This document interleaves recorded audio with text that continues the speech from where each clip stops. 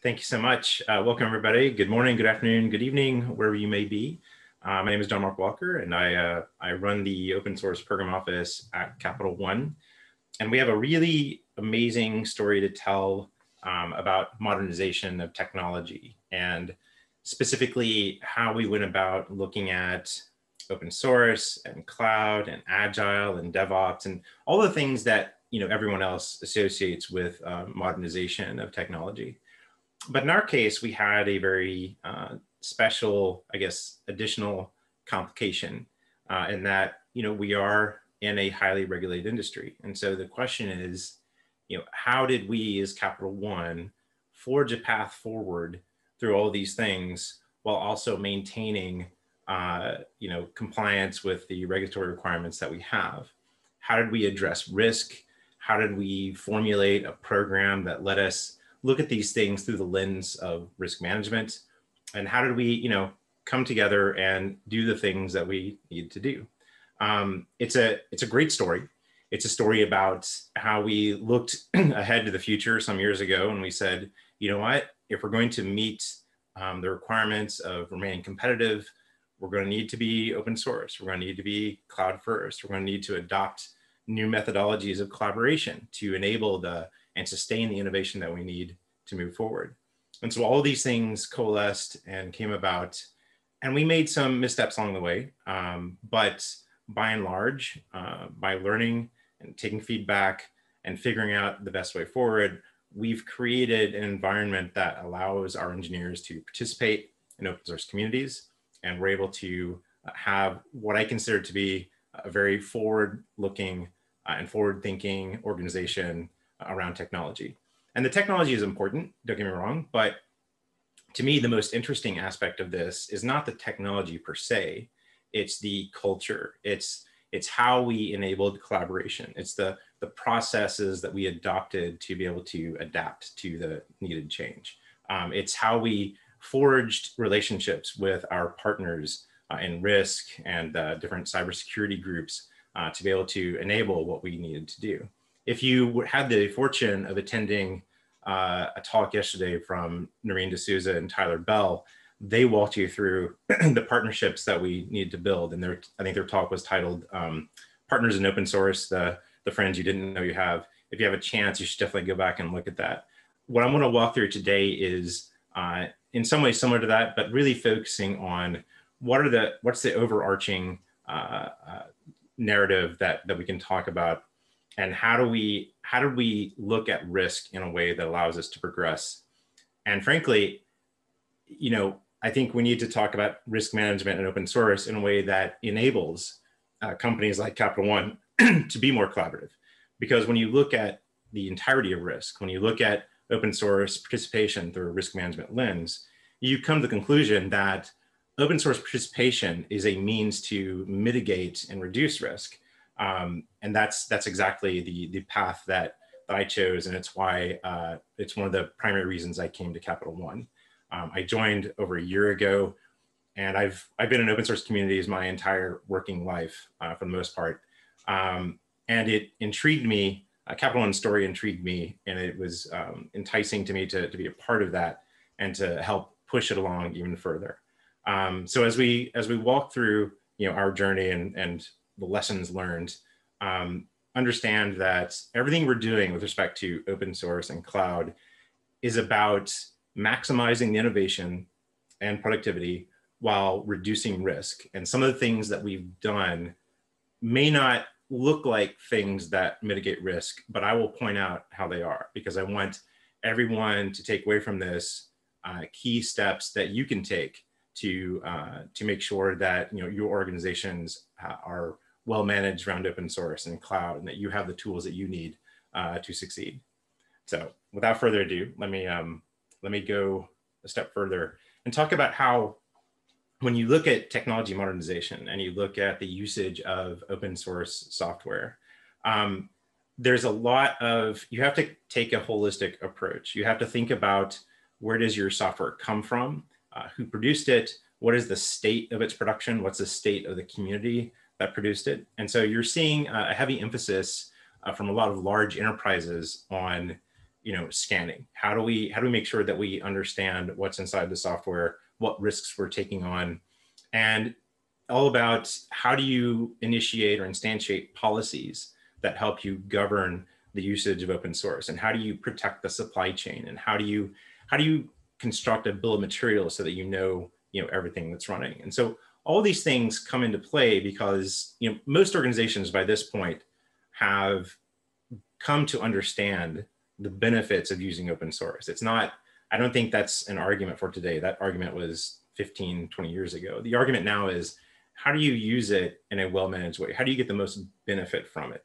And how do you make sure that you know you're not introducing new risks? And how do you look at it through the lens of risk management and to that point you know the, the previous slide was about a, a gartner study and this one references a forrester uh, study uh, this one focuses on cloud container adoption in the enterprise but really you could look at container adoption and use the same description that you see here around compliance and apply it to any kind of new disruptive technology that is at the beginning of its adoption curve um, or, or still rising in its adoption curve. Um, and you can see here, according to the Forrester report, compliance is the number one concern among senior tech leaders using container management platforms. And this really comes down to, you know, how do you, um, how do you use these new technologies? How do you adopt them uh, through the lens of risk management and make sure that, you know, you're, um, you're on point uh, in your usage of it and your governance for these new technologies is sound. And that's what we're really going to walk through today is like, you know, adopting these new, te new technologies and processes while at the same time ensuring that we can sustain our innovation um, going forward. This gives you an idea of the impact of uh, open source on the enterprise. And this is a result of a uh, 2019 Linux Foundation survey um, I think there is actually a 2020 version of the survey which shows uh, comparable results. But uh, the, the takeaway here is that organizations that have made these cultural changes, organizations that have, you know, bought in to open source collaboration and use open source software um, extensively, um, these are the companies, these are the enterprises that that move fast. These are the ones that deploy software more frequently. These are the ones that have adopted DevOps principles more wholeheartedly. Um, it once you adopt an open source mindset, it leads you down the path of other things, including cloud and DevOps and all the other things we associate with uh, software modernization. I think uh, open source goes hand in hand with all those things as they kind of coalesce together. And so, you know, you can use open source in the same way that you used uh, traditional off-the-shelf software, but the question is why would you do that because with the by embracing open source collaboration and by embracing open source platforms and libraries and tooling um, it enables you a level of flexibility that you didn't have before. And so once you get used to that convenience i think uh, stephen o'grady likes to refer to the convenience of open source and how that um, that fall flows into the convenience of you know a cloud first mindset and the convenience of you know having uh, at DevOps, uh, having adopted DevOps principles. It all sort of flows together. And you can see that um, encapsulated uh, in these diagrams and charts that sort of show you exactly you know, what a difference adopting that mindset uh, makes. So let's, let's take a little path, let's take a little walk through the, the history of Capital One's modernization story, because uh, as I mentioned, it's a, it's a very compelling story. Um, when we started out, uh, you know, we were, you know, we had your traditional monolithic uh, set of monolithic apps. Um, and I have to give a lot of credit to uh, the leadership in our technology organization for recognizing that that approach was not going to sustain us going forward. And we had to make changes to adopt new practices, new tooling, uh, and we really had to enforce some type of cultural change to make it possible.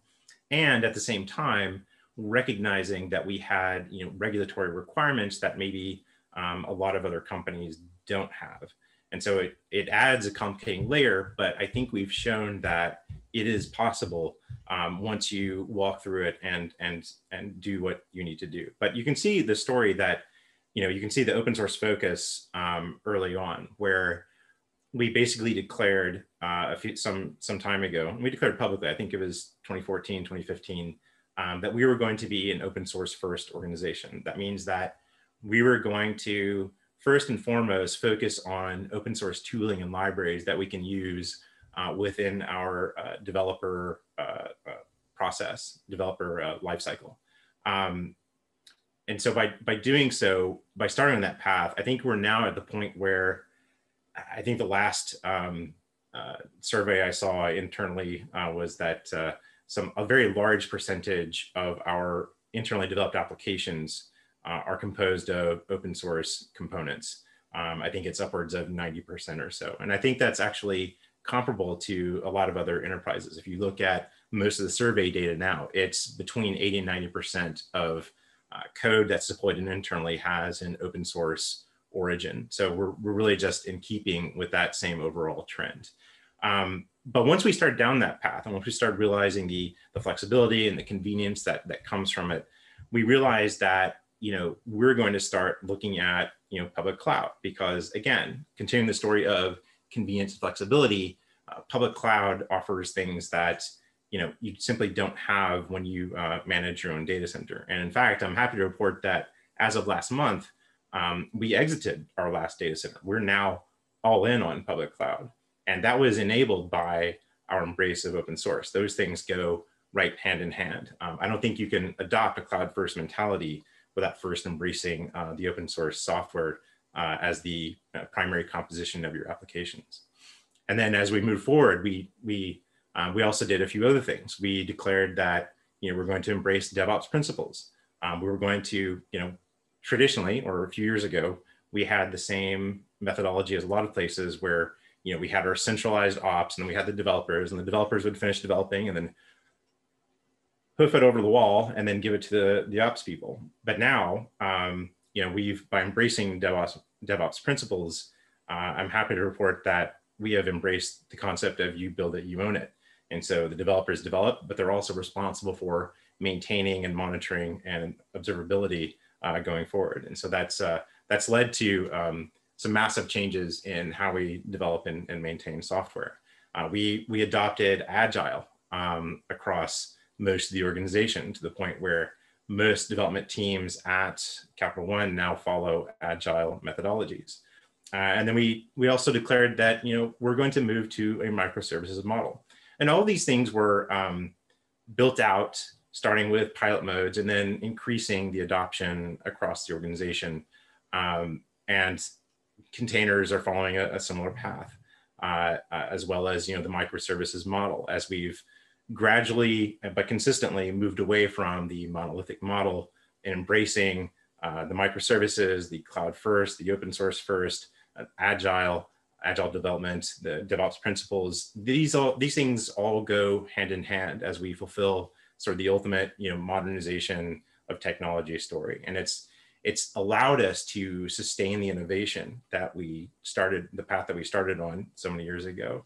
Uh, and we're able to, you know, pivot quickly. You know, so as an example, when we all had to do our switch to work from home, um, that the quick pivot was enabled by the fact that we adopted all of these, you know, highly flexible, uh, uh, maximizing convenience um, uh, processes uh, that allowed us to, to fulfill that obligation with very little disruption across the organization. And when you're able to embrace these things while making sure that you manage it well, um, you're able to, to do things like that. You're able to be as flexible as possible because you've embraced the overall convenience. And that's kind of the, the overall story here. How do you put that into motion? So let's talk about the, the open source focus because this is this is the, the first thing that we, we started talking about uh, all those years ago. Um, and it very quickly became apparent once we enabled our engineers to start making open source contributions. I think within a year of that, we recognized the need that uh, the need for having a or creating a programmatic approach to open source. And the first thing we focused on was usage. How do we govern the usage of open source across Capital One? And again, this is where the partnerships with our uh, with the risk and and uh, cybersecurity organizations came into play because when you start using open source, the first question that's asked is around, okay, what are these licensing things? What's the what is the GPL? Uh, what is what uh, what obligations do we now have once we adopt these open source licenses? And so by pulling in our our legal partners and our risk partners, we were able to create a system of governance around which we could enable our developers to use almost exclusively you know open source pieces and components to to build their applications. But that there is an education that went along with that. You know we we needed to educate our legal partners. We need to educate our risk partners about why this is important. Um, and to their credit you know they were along for the ride. And this is why i always emphasize whenever you're talking about you know building in organizational change you know developers are great you, you need your developers but in order to make this successful, in order to unlock maybe some of the, the roadblocks that you're going to find, you got to work with your build relationships with your risk partners and legal partners in order to uh, and educate them so that you can actually push these things forward. And that's one of the things I, I always emphasize when I give this talk is, you know, we couldn't have done this without developing the relationships uh, that we needed with the non-technical areas, the non-technology areas, so that we could uh, actually continue to move forward. And so by doing that, we're able to create this environment in which we can, you know, adopt open source first, uh, and then use it uh, as the basis for for um, SDLC. The next thing was contribution, you know, because when you look at open source usage, you very quickly come to a point where you're using a bunch of software and it gets old and stale and you have a bunch of um, changes that you want to make. And where do you put those changes? Well the logical place is you push it upstream. And i'll give a more comprehensive overview of what that looks like. But for now uh, understand that this is sort of the the phase two. You you use open source. Okay how do you enable your engineers to um, to contribute to these open source communities? Because frankly you know, it's in your interest to do that. And that's the that's the argument that you know we make when we we have these partnerships with um, with our legal and, and risk groups. Uh, you know, contributing software back to the communities that you know we're involved in or, or depend on um, is, is a key component of having an open source first mindset. So it's it's all about taking those same partners and continuing the evolution as you as you build uh, this infrastructure um, that you need. And then, the, and then the, the next thing was, and you'll see examples of this later on in this talk, where we realized that, you know, we've got a lot of smart engineers and we've got, we've learned a lot of lessons from our um, progress in, you know, cloud first and open source first um, uh, modernization. How do we put this, how do we take these lessons learned and put them in a way that others can learn from them? And so I'm always a fan of, you know, show, don't tell um, although in this presentation I am telling. So, uh, but the show don't tell aspect of this is in launching new open source projects. And it was actually within, I think, a year or two of our open source first declaration that we started putting together the pieces that we needed to to launch new open source projects. And I'm happy to report some new development in this area, but uh, for now, just know that uh, you know that that resulted in projects like Hygieia, which is a DevOps uh, dashboard, uh, and uh, Cloud Custodian, which allows allows you to institute um, uh, policies that you know and controls for your cloud assets.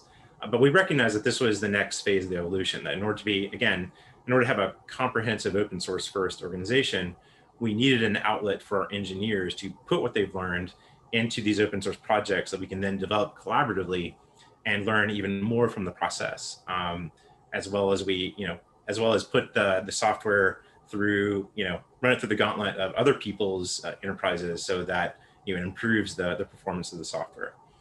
Um, and then we, you know, along the way, we have a couple of other pieces of the the story that help to fill in the the rest of it. Um, you know, when you're going to use open source, you're going to contribute open source, and you're going to launch new open source projects along the way, you're building in these collaborative processes. You're, you're recognizing um, the gains to be made by consolidating on certain platforms, uh, by developing you know consistent interfaces, by having you know breaking silos. You know one of the, one of the large DevOps principles is around um, the primary DevOps principles is around you know breaking down silos. And by adopting these practices, you're you're you're incorporating what's known as inner source, um, where all these communities you're enabling collaboration between teams, between departments, uh, which allows things to go faster and sustain the innovation that you need, um, uh, you know, going forward.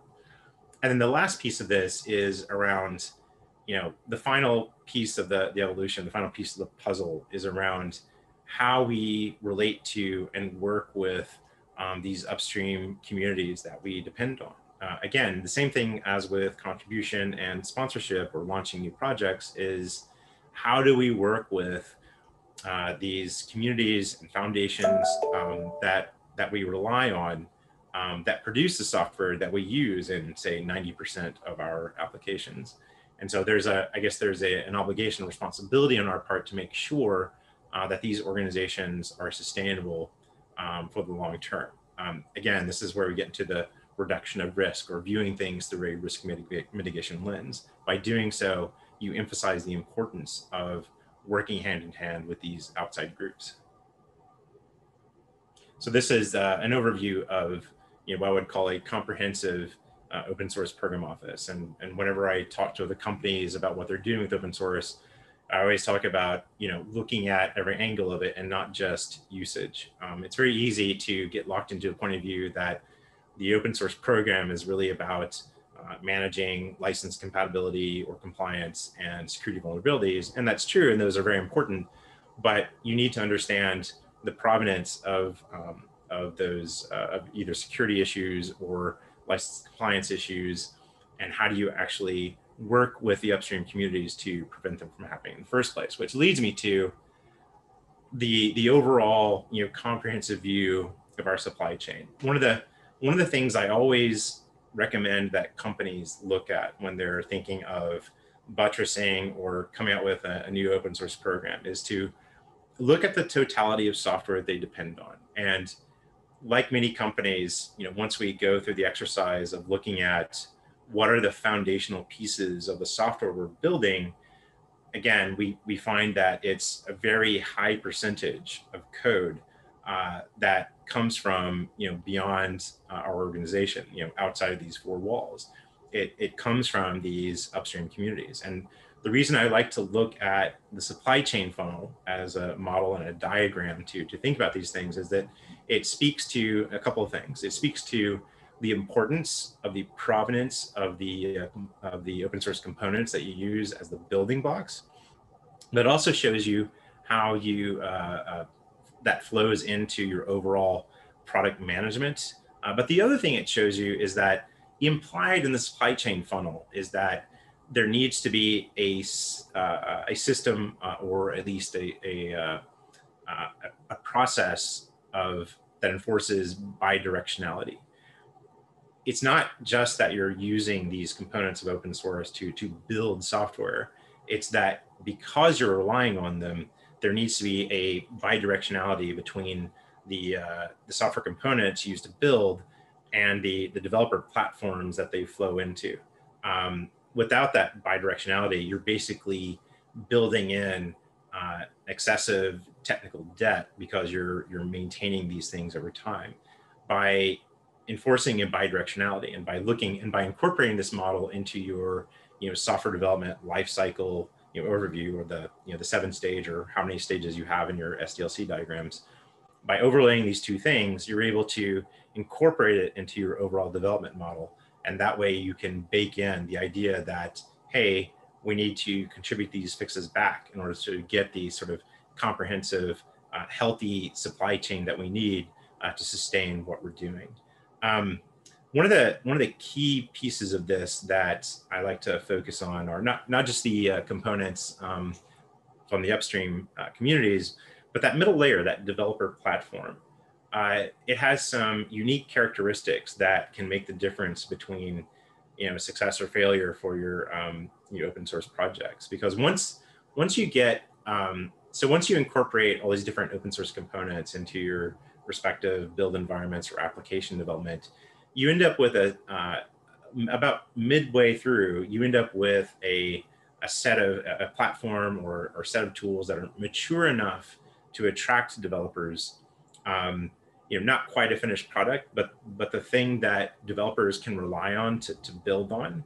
And that's why this becomes kind of a, a center of gravity for everything else that um, that you build. It's it's it's not quite a finished product, but it's the thing that you can use to build community. You can build collaboration, uh, and by by having these application developers work on you know the uh, the developer platforms, it can become a, a force multiplier uh, in your community building uh, efforts and your and your development efforts. Um, by by making these developer platforms accessible to more people, you're able to incorporate more feedback as you continue to develop uh, the platform before it's released. Uh, but you're also able to make sure that you have a relatively stable platform that developers can build their apps with reasonable assurance that it will continue to work even when it moves into the uh, the so-called the finished product stage. Uh, we all know that there is no such thing as a finished product, right? But um, but there are products that are ready for release, and so you need to both incorporate feedback from app developers as well as make sure that you have stable APIs that they can use um, that they can that are reliable and that continue to work as they go into the release product. This again, this is where we enforce the bidirectionality. The finished product is not a finished product. Um, you're going to continue to relay feedback from that finished product into the developed platform. So again, at every stage of this, you've got the bidirectionality bidirectionality built in, and you're able to have a well-maintained uh, supply chain uh, for your development efforts that you can sustain the effort um, over time.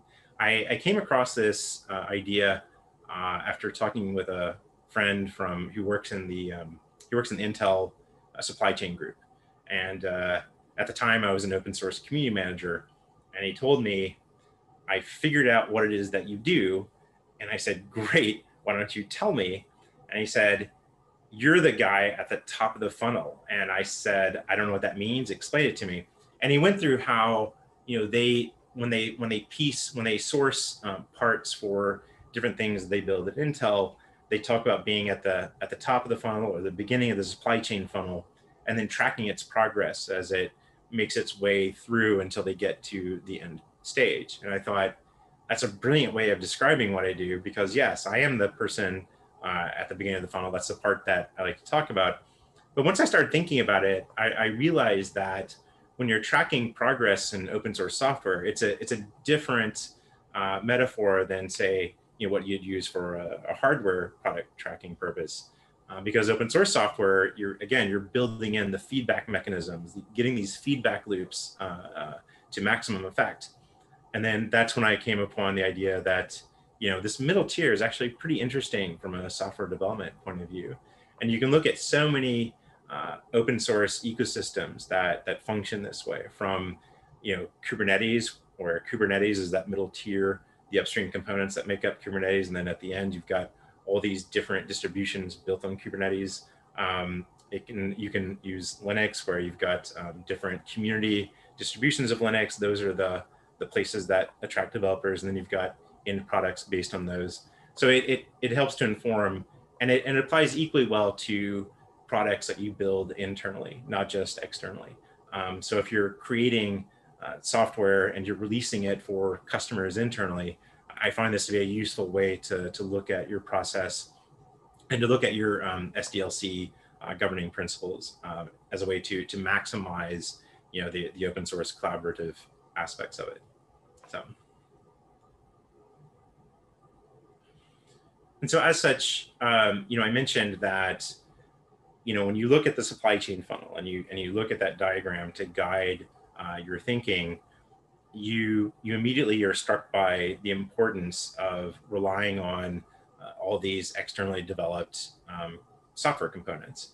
Uh, and once you look at that and realize that you're dependent on you know 90% of your code coming from these places, you begin to uh, put into place uh, the processes that ensure that these com communities and foundations are sustainable over time. So as part of that, we have become you know members of a number of foundations and communities um, across the open source landscape. Um, the, the CNCF is important to us because well, one, we use a lot of the software that uh, is under the governance of the CNCF, uh, but we also um, contributed a project to the CNCF uh, it's Cloud Custodian. Uh, I'll get into that in a minute. Um, you know, the TODO Group is a is a great um, organization dedicated to you know governance of open source at, internally at companies, if especially if you're part of an open source program office. And so it's important to us to know, you know what are the best processes that we can have in place. Um, the Apache Software Foundation, we uh, we depend on a lot of uh, software that comes from there. So again, it's important to us that the uh, ASF is sustainable and that we are, you know, good members uh, uh, uh, of its body. Um, the Linux Foundation um, has so much influence and it governs so many different projects that in order for us to be you know, good upstanding members of open source communities, it's important that the Linux Foundation is sustainable as well. And the same thing for the Python Software Foundation, uh, the, the, the FinTech Open Source Foundation, also called FINOS. And then we have the, um, the Continuous Delivery Foundation because we are, we are an end user of continuous delivery tools. Um, we, we incorporate these tools throughout our SDLC process. Um, we, we rely on a lot of the tools that are under their governance. And so it, it just makes a lot of sense, you know, as an end user of these tools to make sure that we are good members um, of this organization. And I'm happy to report that uh, we, we've actually taken a lead role in helping to build out an end user community as part of the CDF, which uh, I hope to be able to talk to, to many of you about uh, later on. But um, but in in uh, uh, in summary, the point of this is we are dependent on these things in order to mitigate our risk um, from depending on these things, we have an interest in making sure that they're sustainable. And that's, this is us, you know, fulfilling that interest and, and doing our part. So we went through the, the open source, you know, the open source first part. And in continuation of that, and really hand in hand with that, we have the, the part where we start to, to build out our cloud infrastructure, our tooling, our platforms. Um, and again, it goes hand in hand with open source. It's once you realize the flexibility and convenience of adopting open source principles, you go right into, hey, how can we maximize this and make better use of it? And I think, again, around 2015, uh, around, around that time frame, uh, we declared that we were going to we were going to go all in on public cloud, and it it caused uh, quite a stir at the time.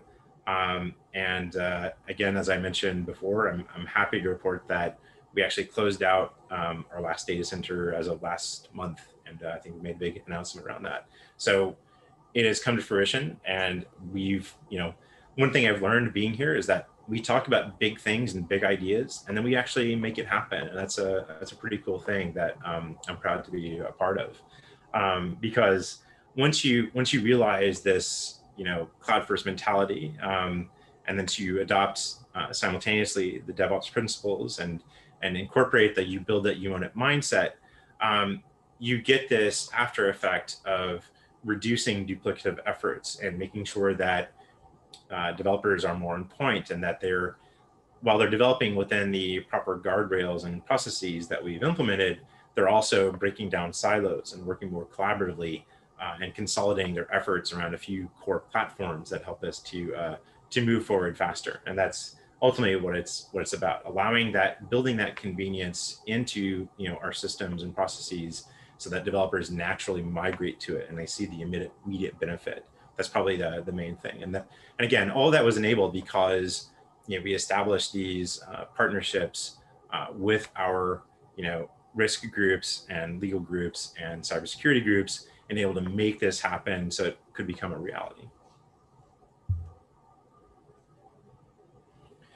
and along the way, we, we learned a lot of things from um, what we've done, you know, in the open source arena.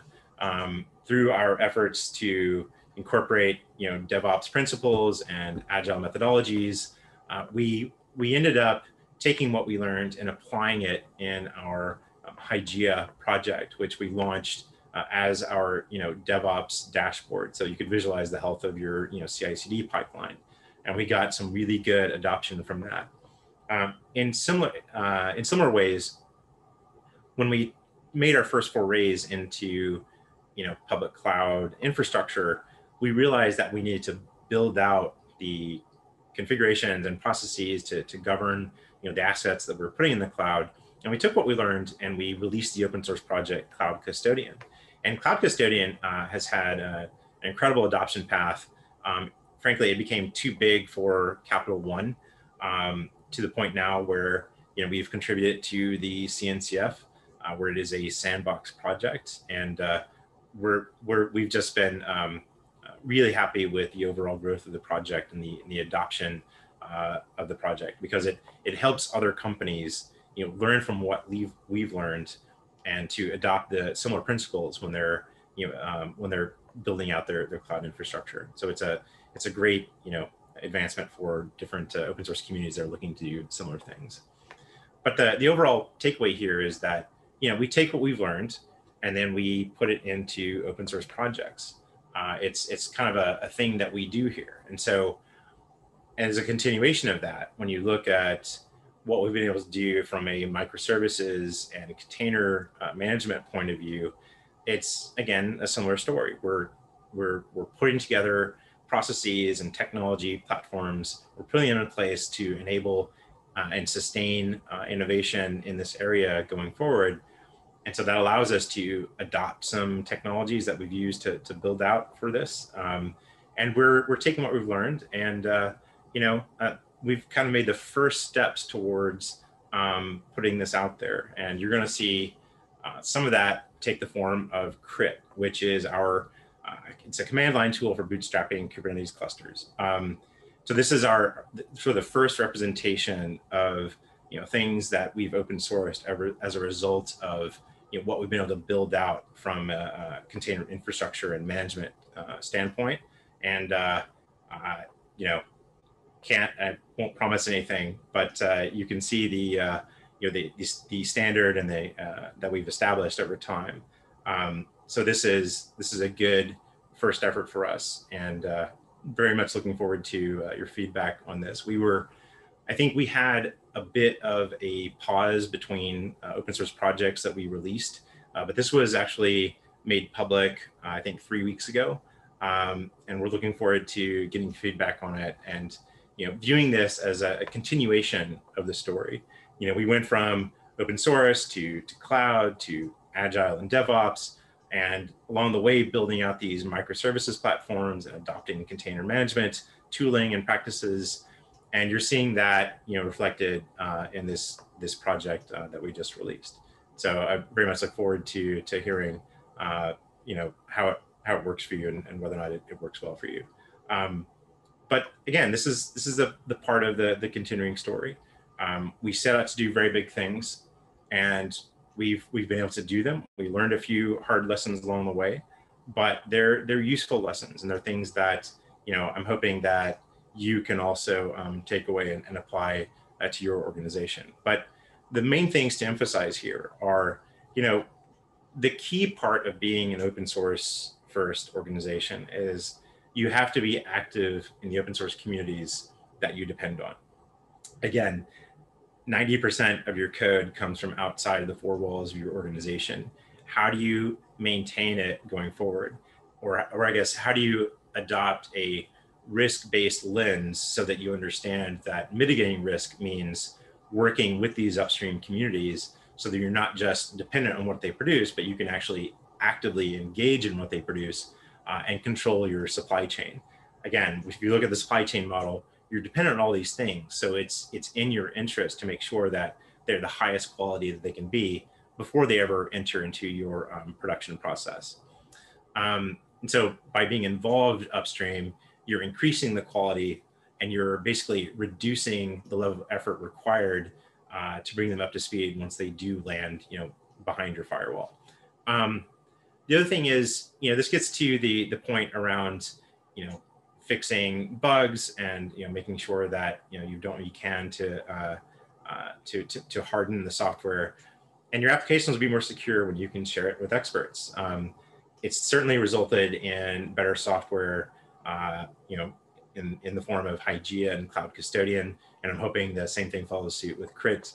Um, but once you share your code out there, once you put it out there, it does a couple things. I mean, first of all, you have to make sure that it's generally usable. You can't just create it. You just you can't just open source a, a bespoke solution that works specifically for an individual use case. You have to make it general purpose enough um, so that enough people can adopt it and use it for their own. And so it it forces the developer to adopt this mindset of creating software for general usage, which when you think about it, also results in overall quality, an increase in quality for the software itself, even if it's just for internal usage, just because it's going to be more generally usable and can adapt to changing environments um, more readily. So it becomes more flexible overall. But beyond that, just having more people look at it, incorporating it, adopting it, maybe even contributing fixes, that's going to help increase the, the quality of the software as well. And so you get this community dynamic, you, you uh, maximize these feedback loops and have mechanisms for you know, other people, other developers and companies to influence the roadmap, it results in a better experience overall. And, and I, that's something that we've um, embraced and, and can tell a, a good story around. And then finally, you know, once you adopt this holistic model, once you once you understand that your SDLC program extends far beyond your organization and that you need to look upstream and look at the source of where these things come from, it definitely influences your view of risk management and how um, incorporating that view help gives you the um, uh, the uh, uh, it gives you the, the imperative to make sure that your supply chain can sustain what you need to do um, technology wise. And it's, that's probably the, the, the, biggest thing that I like to emphasize when, when looking to adopt open source programs is, are you looking at your software development lifecycle holistically and comprehensively? Uh, and how does that influence your decisions to release software, contribute software, and um, make sure that the, the communities that you depend on are sustainable? So those are the those are the main takeaways. And I think with that, I think we have five minutes for questions. And I want to look at have questions. I guess um, feel free to ask them. I have five minutes. Ah, so I have a question. So this is accomplished over how many years? I think if you look at the first public declarations around being open source first, being cloud first, I'm going to say, and these are public declarations, declarations, so I'm not going to get in trouble for saying them, but I'm thinking it's in the 2014, 2015 timeframe when we when we really went public with uh, what we were going to do here. So it's been a journey, um, but we we had some immediate success with it, and that's the thing. Like that immediate success fueled the continuation of it. So we we once we went down that path, you know, we recognized that it's the right thing to do. And so that's we've just we've just followed through um, as we go on. Um, all right. Uh, any other uh, any other questions before before we uh, before we drop? Um, okay. Well, it, it's I always love to to tell the story. I always love to um, walk through it with uh, with people, and I cannot see the Q and A uh, can someone read me what says in the Q&A so I understand what questions are being asked? Sure. Um, here's a question from Gordon Huffs that says, what are your main challenges today? The main challenges today are how do we, you know, when, when I was, um, when I joined Capital One, it was a, for a very specific reason. There were, there were two specific reasons. One is how does a company like Capital One uh, behave in such a forward thinking manner given where it is. And the second reason I joined was, you know, over my years in different open source communities, I noticed that a lot of large enterprises weren't really present when it came to, you know, the formation of, you know, open source technology, you know, not participating in roadmap building, not taking on leadership positions in these communities. And so my coming here was really about learning why that is. And I think you know I've I've discovered a lot since I've been here. So the the the main challenge is how do we take what we've learned and expand it? You know, we've we have engineers making contributions. We've launched open source projects. Um, how do we make a larger splash? How do we scale up and scale out what we've been able to do um, to an even greater level? You know, how do we how do we take it to that next level? That's that's where my mind is right now, and that's kind of that's the reason I came here, and um, that's that's where I'm focused. I would I would say that's the the biggest challenge. You know, we've made okay, we've made some great progress, but how do we how do we even take it further than that. And that's that's the thing that um, that challenges and, and, motivates me to uh, you know to push this forward even further.